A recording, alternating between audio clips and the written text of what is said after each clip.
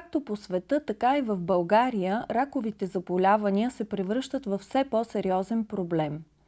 Ракът е заболяване, което протича с нарушение на функциите на съответния орган или система в резултат на агресивното разрушаване на клетките.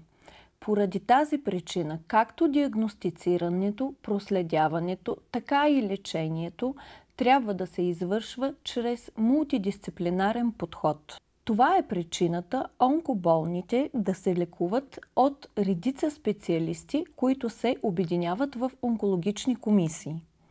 В днешно време, благодарение на развитието на медицината и методите за образна диагностика, пациентите могат да бъдат диагностицирани в много по-ранен етап и след подходящото хирургическо лечение – биват подлагани на различни комбинирани лечения, целенасочени терапии.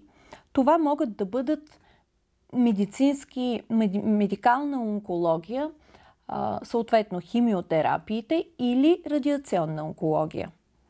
Днес в рубриката Живот за теб ще обърнем внимание на възможностите и развитието на медикалната онкология. Моят гост-специалист е медикалният онколог професор доктор Чейдем Авшар от отделението по медикална онкология в Лив Хоспитал.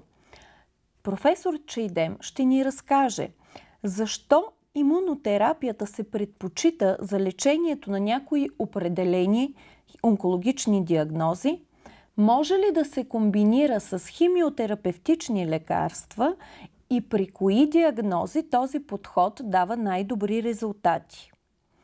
Има ли подобрения в състава на медицинските лекарства, които се използват в химиотерапевтичните вливки?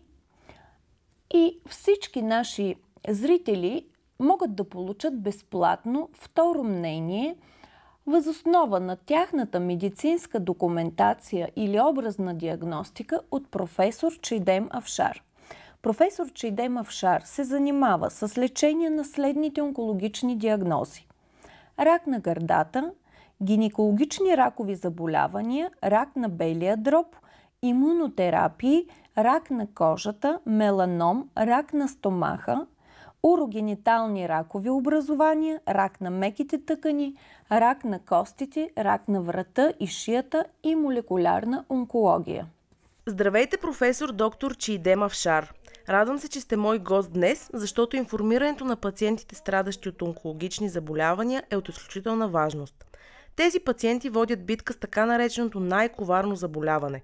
Това ли е най-страшната диагноза, която може да чуе един пациент? Да, Онкологичните и сърдечните заболявания са едни от най-страшните диагнози за пациентите, а и това са двете диагнози, които водят до най-висока смъртност в световен мащаб. С напредване на възрастта, един от всеки двама души губи живота си в следствие на сърдечни или онкологични заболявания. Поради тази причина, при раковите заболявания, ранната диагностика е от изключителна важност. Когато избирах специалност, този факт повлия моя избор, защото исках наистина да бъда полезна на пациентите, които се нуждаят от моята помощ. Още докато прекрачвам прага на моя кабинет, знам, че съответният пациент има жизнено важна нужда от моята помощ. Той се нуждае не само от моето професионално съдействие, но и от моята позитивна енергия, от моята подкрепа и мотивация. Опитвам се да помогна с всичко, което е по силите ми. Съжалявате ли, че избрахте специалност медикална онкология? Вие сте професор и имате богат опит в тази специалност. Не, никога не съм съжалявала за моя избор. Още в началото, когато избрах да уча медицина, направих своя избор с голямо желание. Моите родители също са лекари. Медикалната онкология беше единственото ми желание за специалност. В Турция, след като завършим а, медицина, първо специализираме вътрешни болести, след което правим втора специализация по медикална онкология. В направление вътрешни болести има голям поток от пациенти, Голяма част от тях постъпват с оплаквания, но след прегледите и изследванията се установява, че няма сериозна причина за оплаквания и ам, в този случай се чувствам безполезна. В медикалната онкология обаче не е така. Пациента, когато идва при нас, вече е с поставена ракова диагноза и наистина се нуждае от нашата подкрепа и лечение в нашето отделение.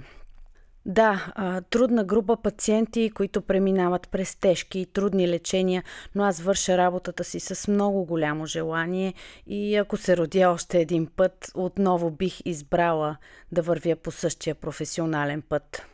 Много се радвам да чуя подобен отговор. Развитието на технологиите оказа голямо значение върху лечението на онкологични заболявания, от гледна точка на това, че в днешно време разполагаме с високи технологии за диагностициране, стадиране и проследяване на лечението на пациенти с онкологични заболявания, например като пет скенер – Развитието на технологиите повлияе в положителен смисъл лечението в радиационната онкология, но през последните години се правят и много сериозни инвестиции в световен мащаб и в развитие на медикаментозните лечения.